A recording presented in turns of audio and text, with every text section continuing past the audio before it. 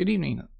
This is the first lecture in Graphic Design 1, and tonight we'll be covering the basics of logo design. The source for this information has come from Logo Design Love, a guide to creating iconic brand identities, the second edition by David Airey. So let's go ahead and get started to, uh, in talking about the basics of logo design. So in Logo Design Lo- Love, they lay out a recipe for creating a great logo. So anyone can design a logo, but very few can design the right logo. A truly in- inviolable design will be simple, relevant, enduring, distinctive, memorable, and adaptable. This many requirements might seem like a tall order, and it is.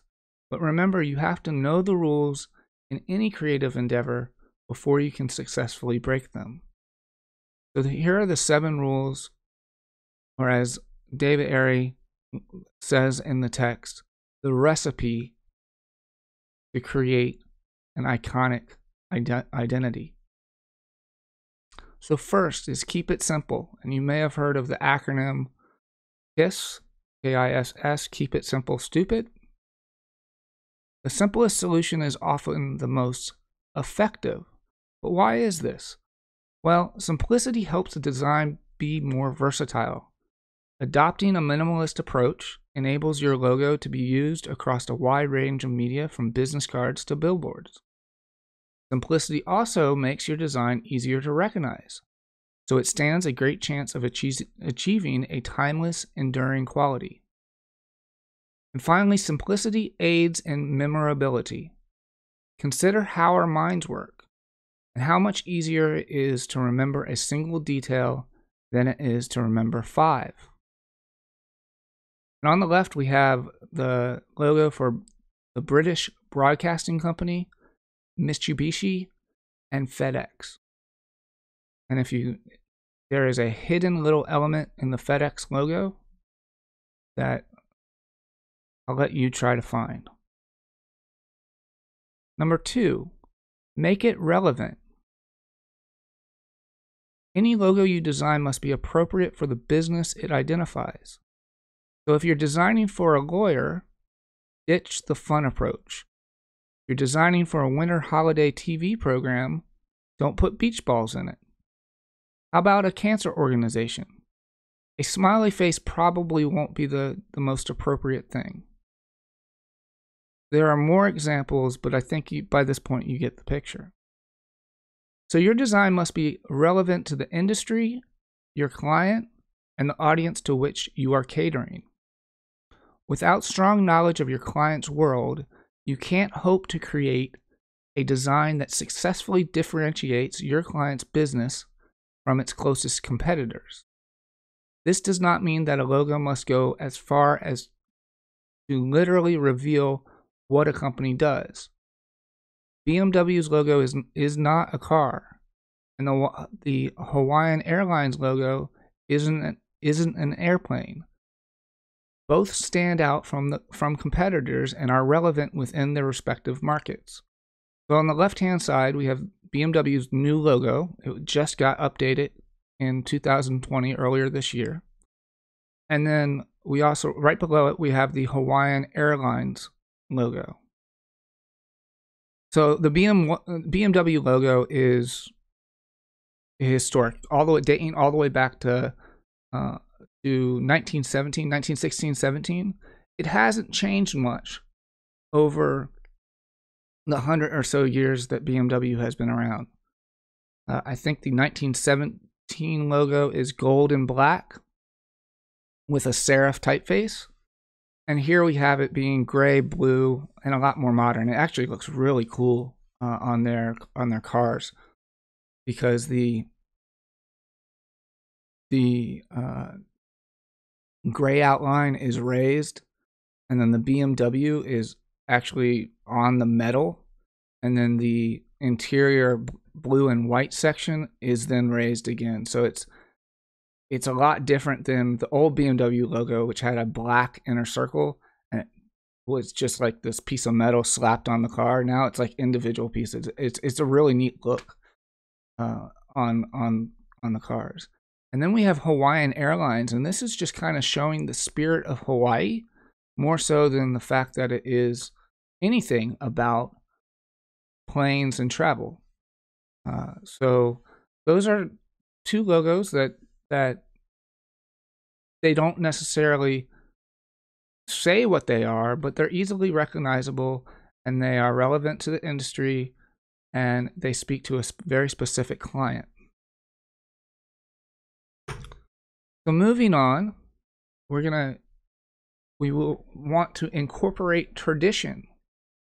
So when it comes to logos, it is best to leave trends to the fashion industry. Trends come and go, and the last thing you want to do is invest significant amount of time of your time and your client's money in a design that will become dated almost overnight. Longevity is key, and a logo should last for the duration of the business it represents. It might get refreshed after some time to add a little freshness, but the underlying idea should remain intact. Next, we want to aim for distinction. A distinctive logo has a unique quality or style that accurately portrays your client's business perspective. So, how is this accomplished? The best strategy is to focus initially on a design that is recognizable. In fact, that in fact that just its shape or outline gives it away. Working in only black and white can help you create more distinctive marks, since the contrast emphasizes the shape or idea. Color, although important, really is secondary to the shape and form of your design. So I've taken two really classic logos that we probably don't very often see in black and white, and that's Girl Scouts of America and um, and NBC, and they're both still very easily recognizable in one color in black and white. So when we are designing any logo, we're going to start in black and white. We're always going to design in black and white. And it talks about this a little we talk about this a little bit later in this in this lecture, but if I was to design a logo in a color. Say I choose, we'll just we'll go with with red and blue and green. And I was to pre- present the client, and I didn't show each logo in in those three colors. So I I show I show one logo in red, one logo with blue and blue, and the third logo in green. Well, the client might hate green. So if my best logo is in green, that that design is going to be immediately ruled out. However, if I present it the same three in black and white, there's less likely an opportunity for the client to disregard the design, the best design, because of because of color. They can focus on the concept that is being presented in the design rather than an attention to a color that they like or don't like. So, next, commit to memory. A solid logo design is one that onlookers will remember after just one quick glance. But how do you focus on this one element of logo design? Start by thinking of the logos you remember the most. So which ones stick in your head? What comes up when you when you start thinking just about logos in the world? You know, I think of Target. But and like Honda or Hyundai. But what makes those logos memorable? Keep that in mind as you begin to sketch. It also helps to limit the time you spend on each sketch idea. You know, try 30 seconds per idea. You want viewers you want a viewer's experience with or you want viewers experiences with your client's visual identity to be such that the logo is remembered the instant they see it the next time. So this is New Bedford Whaling Museum and this logo combines the tail fin of a whale with the sail of a ship and this this unique use of negative space provide allows for a very me- memorable mark. As a matter of fact, when I was as I was putting together this presentation and I came across this this logo in the book, I immediately recognized the mark. Did I recognize it as the New Bedford Whaling Museum? No, to be honest, but I recognized the mark. So it it had stuck in my head over the time of of at least my teaching career, which is has been 10 years. And probably earlier than that because it was designed in, in 2005 so it's a very memorable memorable mark and a recognized logo easily recognized logo. Think small. Your logo must be adaptable. As much as you might want to see your work plastered across billboards don't forget that your design may also need to accommodate smaller yet necessary application such as zipper pulls and clothing labels. In creating something versatile, simplicity is key. A solid logo should ideally work at a minimum size of one inch without loss of detail. So when we design, usually when we design our logos, we'll put the logo in a in the upper third of an eight and a half by eleven sheet of paper, and then we'll take the logo and then we'll reduce it down to that one inch, just to make sure it's legible at a super small size. Um, and to be fair, when we not necessarily with the mark, and we're not really talking about the uh, the anatomy of a logo, but when you have so in this uh, and I'm gonna say the name wrong, the Su- Sugo logo here, you have uh, on the left here, this symbol is what we call a mark. And then the type is called the logo type. Okay. And then all of it together is your logo. Okay. So this first project is called, or this first exercise is called design a personal logo, but we're going to focus on the mark aspect of it. Okay. So, and and my point was going to be is if we took this logo and we blew it up so it was massive on the side of the building, we may go in and adjust the kerning, which is the space in between the two letter forms, a little bit, or we may change ever so slightly the mark. I'm, you know, I'm talking very, very minor adjustments. The same thing can happen when you reduce your logo really down in size. It can change ever so slightly. So your your outside rule on this shape may get a little bit thicker the kerning might change because of the size, so that it may may increase because of this because of the smaller size, so that our logo is legible. So there are some alterations that can be made, but those are things that those are bending the rules, not so much breaking them. But you have to know all these other things. So it's better to to design a logo first that just works at you know six, 60 feet wide and one inch okay?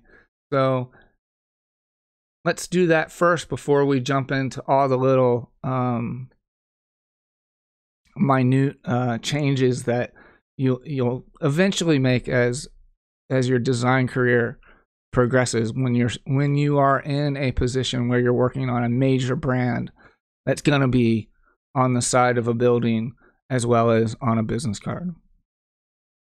We're not doing that right now.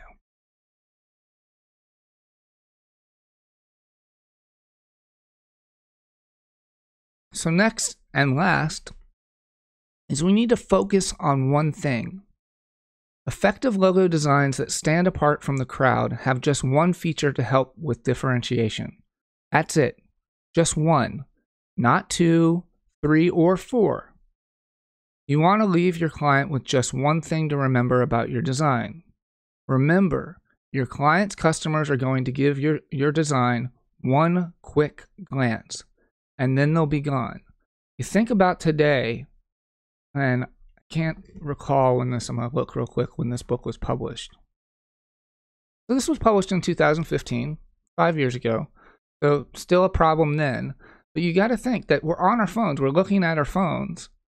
And if we put our logo up on a, say it's a store logo, it's, you know, on the on the storefront as we walk by, how many seconds are you really gonna it's gonna catch somebody's eye from the corner of their eye from looking at their phone possibly right or there's so much if you think about broadway there's so much other stuff going on on broadway in downtown columbus that your attention is is everywhere. So that's that one quick glance that david Airey keeps referencing. Okay? So with this element we want to focus on one thing within the the logo.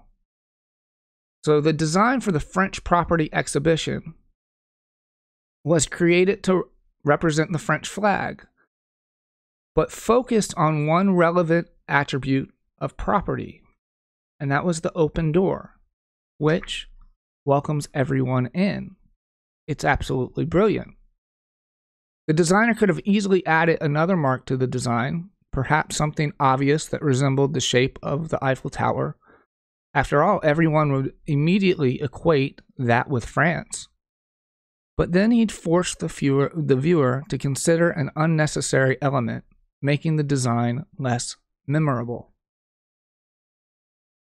Okay, so let's review the seven ingredients for a successful design, uh, logo.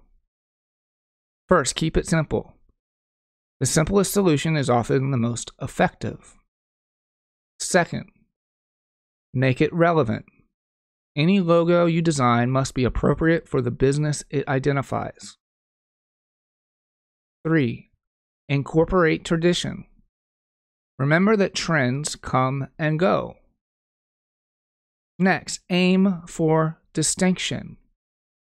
Focus on a design that is easy, easily recognizable. Next, commit to memory. Quite often, one quick glance is all the time you get to make an impression. 6. Think small. Your logo should ideally work at a minimum of around 1 inch in size without loss of detail. And finally, number 7, focus on one thing. Incorporate just one feature to help your designs stand out. So remember that rules are made to be broken. broken. By sticking to the rules for creating iconic designs, you stand a greater chance of delivering timeless and enduring logos that impress and excite your clients. But can you do more? And do you always need to play by the book? Keep in mind that rules can always be broken or bent. It's up to you to tread new paths in your attempts to create designs that are cut, a cut above the rest. Whether your results are successful is another matter, but you'll learn so much more and so much faster when any potential mistakes are your own rather than someone else's.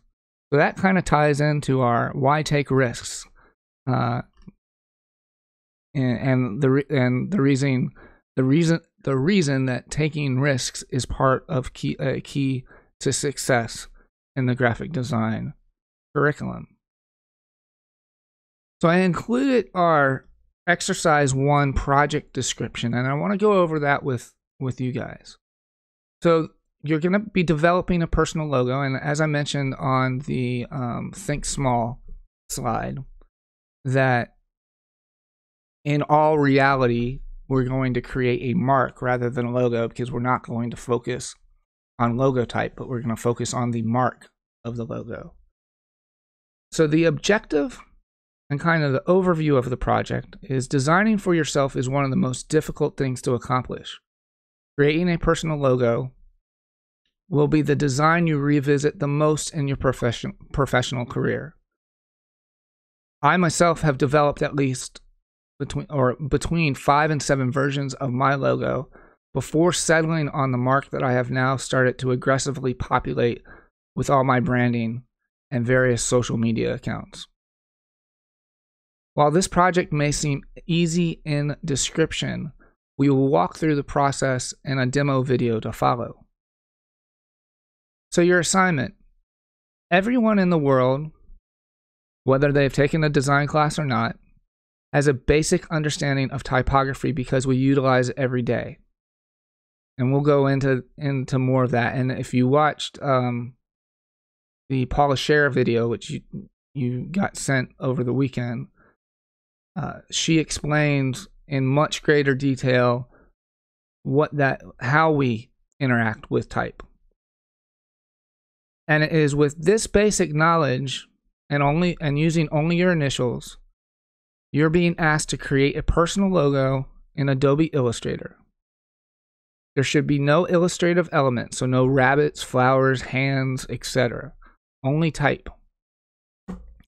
And we're going to look at in the demo how we can create typographic elements without using any fonts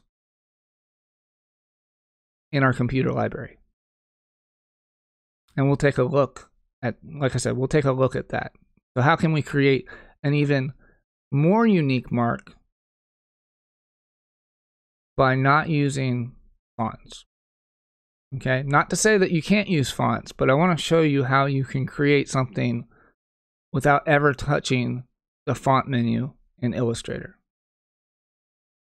So what do we have to do? We have to watch the demo that I have supplied where I walk you through the process of developing a typographic mark.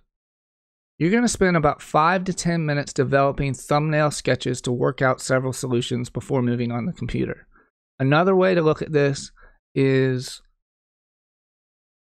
the time that it takes to brew two pots of coffee. Okay. That's how long I sketched before this. I got about 30 sketches in. All right. And we'll you'll see what I what I came up with in the demo. I don't want to get too far out ahead of myself. The logo specifications, so what you're going to need to create and how you're going to need to create this is you're going to work in Adobe Illustrator. Your logo, your final logo that you are to turn in is to be centered on a 6 by 6 inch square artboard. You're going to design in black and white only, no grayscale, and it's going to be type only, no illustrative elements. So the deliverables, what you're going to turn in, they're due Tuesday, September 1st by 11:59 p.m. And remember, that's on both Google Drive and on Cougar View. So I want you to name your files last name dash first name dash logo dot AI. And the A the dot AI stands for an Adobe Illustrator file. So when you save directly from Illustrator, it will automatically save your file as a .ai file. But I want you to name it in the way that's shown on the screen. And you're also going, going to save it as a PDF, and I'll walk you through that when we do the demo, which is last name, first name, dash logo dot PDF. Now I'm I'm asking you to name your files in this way as part of the project. So if you don't have your files named correctly, you will receive points off. If you do use fonts, you need to outline all your text which means select all the text that you have you you have used. And then the Mac keyboard shortcut for this is shift plus command plus O. And the PC keyboard shortcut is shift plus control plus O. I'll show you in the demo where it is within the Illustrator interface, but as you will find throughout this course that keyboard shortcuts are the key to becoming efficient as a graphic design professional.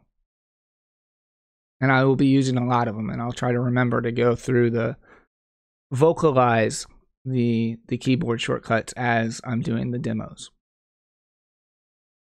Next, you're going to upload your files into your folder on the GD1 Google Drive, and everybody should have received an invitation to that Google Drive, and you have, should have created a folder on that drive with your first and last name.